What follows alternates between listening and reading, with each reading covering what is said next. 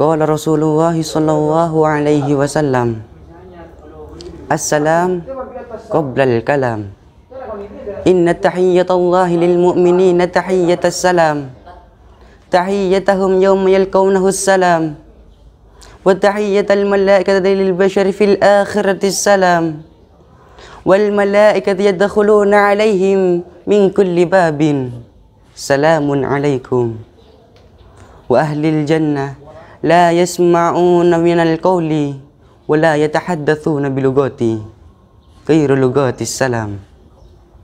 لا يسمعون فيها لوا ولا تأثيما إلا قيلا سلاما سلاما. أحييكم تحية إسلامية. تحية المباركة.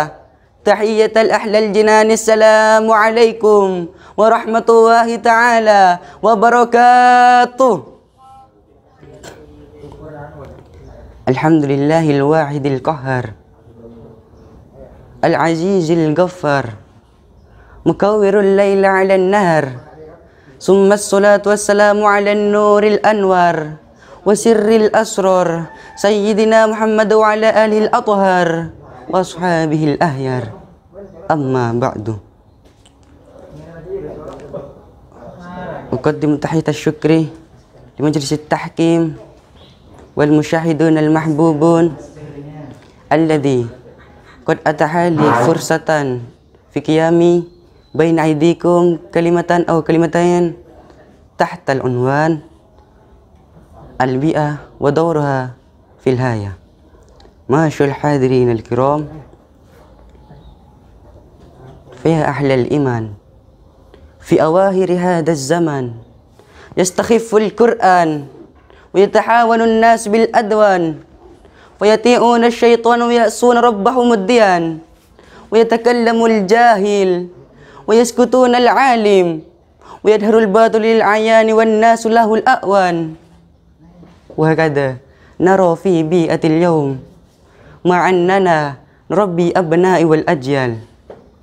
إذا كانت البيئة الطيبة فسوف يجتمع فيها الصالحين.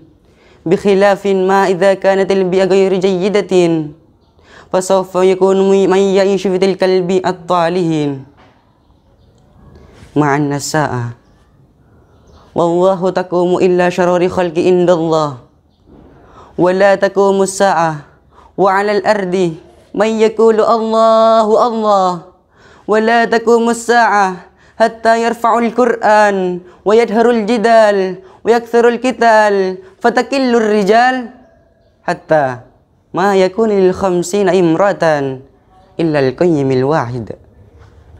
ولذلك يجب علينا أن نجعل بيئتنا بيئة طيبة غير